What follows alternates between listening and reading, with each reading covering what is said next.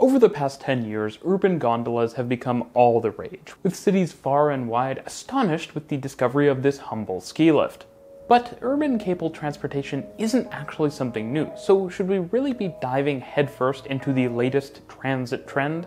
Are gondolas just gadgetbahns? Well, let's find out. The explosion in urban gondolas, and the even bigger explosion of social media posts by urbanists excited by urban gondolas, was clearly started by the metro cable system in Medellin, Colombia a system that has now grown to six different lines serving the hilly metropolis. Now, some do say that the metro cable was the original urban gondola system, and I think that's kind of up for debate. But what isn't debatable is that it definitely got people talking, and also connected into a great network of rail, bus rapid transit, and perhaps the world's only justified Translohr system. Now, probably the most impressive new urban gondola system in the world is actually not in Medellin, but in La Paz, Bolivia, where the Mi Teleferico system has 10 different lines with nearly 40 gondola stations. So much that it's ended up looking a lot like a metro system on a map, but with gondolas. But you want to know, do gondola systems actually make sense? Should my city be building a gondola system? For starters, it's actually worth discussing what a gondola is and how it's different from a cable car. A gondola is an overhead cable-based transportation system where small cabins are carried and pulled along by a single cable which they hang off of, which will be running between two or more stations. The gondolas don't actually stop entirely within stations, but detach from the high-speed cable and slow down so people can board and deboard them.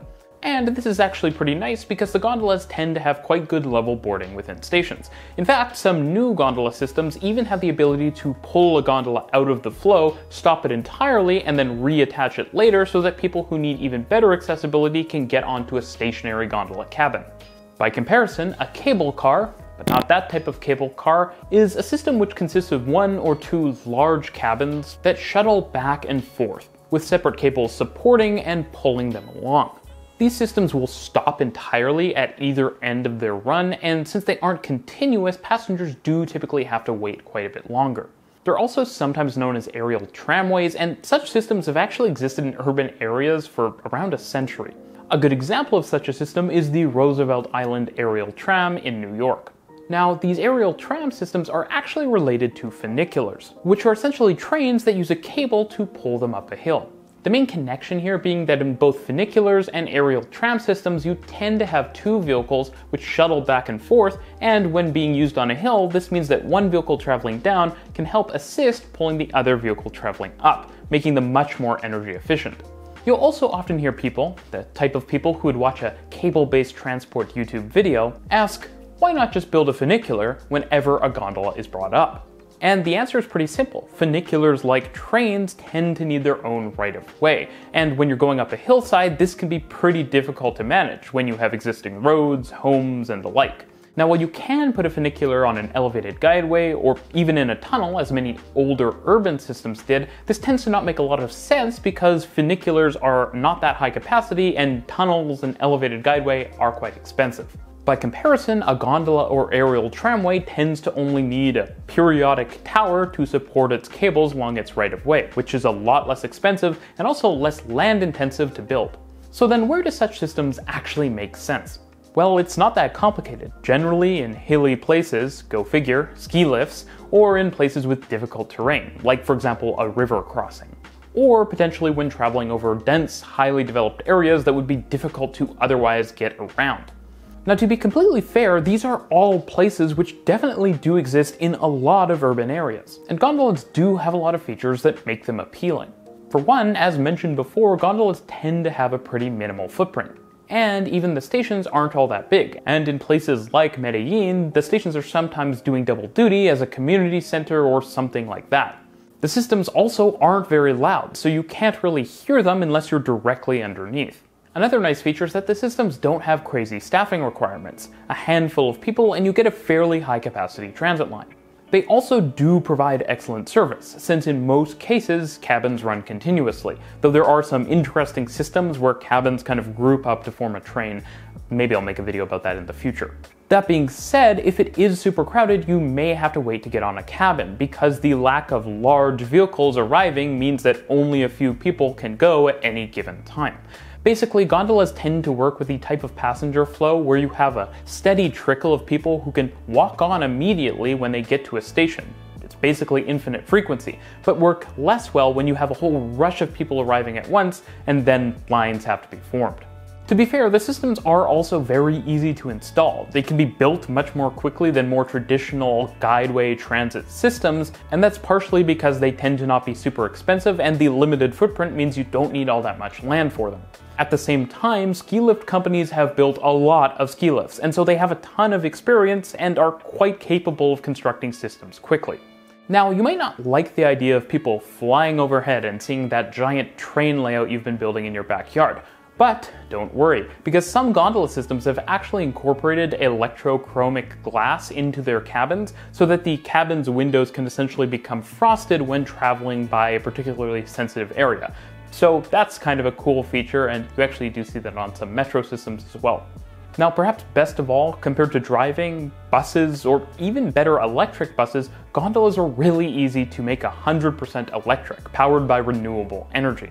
Because of a lot of these great features, cities like Istanbul and Mexico City, make sure you're subscribed for a video on Mexico City very soon, have used urban gondolas to connect hard to reach neighborhoods in hilly areas and other trip generators like university campuses. Even cities known for extremely picky aesthetics and big transit systems like Paris are getting onto the urban gondola trend.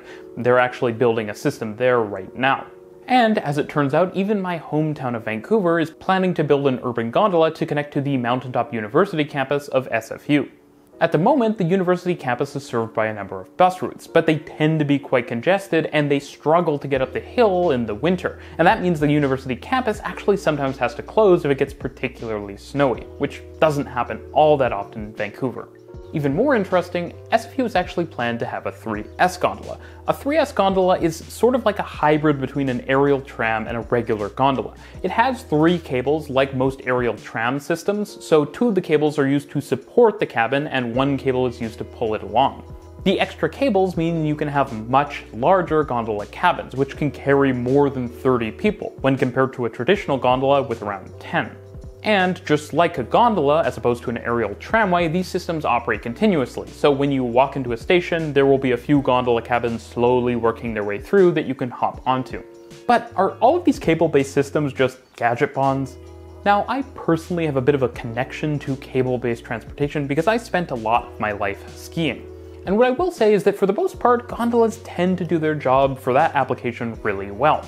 They're also quite cost effective and really standardized, so I don't think it's fair to call them gadgetbahns. They're just a very specific transportation tool for very specific transportation problems. Unfortunately though, the needs of urban transport tend to be quite different from the needs of ski hills. So what are the limitations of these systems? Well, for one, the uptime of gondola and cable-based transit systems in general can be less than ideal. For example, ski lifts tend to shut down overnight, as well as during the off-season. And longer-term shutdowns are sometimes required for major works like cable replacement, which, unlike in a rail system, can't be done while the system is still operating, even at a lower level. Now, none of this is to say that a gondola couldn't operate similar to other transit services, from early in the morning to late in the evening, with a cable replacement every couple of years, which isn't all that bad. It's not unusual for a longer term shutdown to happen every couple of years on a major metro line, for example, at least in big cities. But the necessity of shutting the system down for major maintenance, even if it is infrequently, means that these systems just aren't really ideal for high capacity or incredibly important routes. One solution that you've seen develop over time for these problems is that many ski lifts have a lot of redundancy. You'll have multiple lifts working their way up the hill so that if one does have to be shut down for part of a season or for some period of time, people can just take other lifts. But you won't necessarily see this in a lot of urban gondola applications. Gondolas can also be quite susceptible to high winds, which are going to be more common as I talked about in a recent video about climate change and transit resiliency. If you've ever ridden a gondola, or a chairlift for that matter, in very high winds, all of the shaking and swinging and bobbing can be kind of terrifying. And systems do actually have to sometimes shut down if conditions get particularly bad. Now, to be fair, there are other types of gondola systems, like 3S gondolas, for example, that are more resilient to bad weather conditions because they have additional stability provided by additional cables. But still, gondolas are going to be more susceptible than, say, a funicular at ground level, not to mention a funicular underground, or even just buses. A bigger issue is probably capacity. Even a higher capacity 3S gondola system only has around the same capacity as a very high capacity bus route. And this means that gondolas just aren't really suited for true mass transit applications. That being said, the staffing costs and potentially even the long term maintenance of a gondola compared to buses operating on a very difficult route, for example, going uphill, actually can make them cost competitive with buses, but in certain applications. Speeds can also be an issue. Gondolas actually can travel quite fast, typically over 25 kilometers per hour, but traditional transit, including buses, can also operate quite fast on the type of sparsely stopping routes that you tend to see gondolas used for. Gondolas also can't super easily turn. Because of the use of cables, for a gondola system to turn, you tend to have to have several straight segments separated by stations which have a turn built into them. Now, I do want to reiterate, gondolas are not gadgetbahns. But sort of like a lot of gadgetbahns, there's a very specific place where gondolas make a lot of sense, and many places where they might be tempting but probably don't make sense. And the many particular and unique drawbacks and pluses of gondola systems means that transportation planners need to really understand the technology to plan optimal routes that use it. Now, more concerningly, at the same time, the low cost and relative visibility of gondolas, as well as their frequent use at amusement parks and ski resorts, can make them particularly attractive to politicians who want to build a white legacy project, sort of like gadgetbahns, which aren't really all that effective for actual passenger transportation. Probably the best example of this is in London, where the cable car, affectionately known as the Dangleway, essentially duplicates existing rail routes across the River Thames, but more slowly and with less capacity. As far as I could tell when I was in London, and I did get on the Dangleway, it was entirely used by tourists. So while gondolas can absolutely be a good option for urban transportation, you need to ask a lot of questions, and there are alternatives.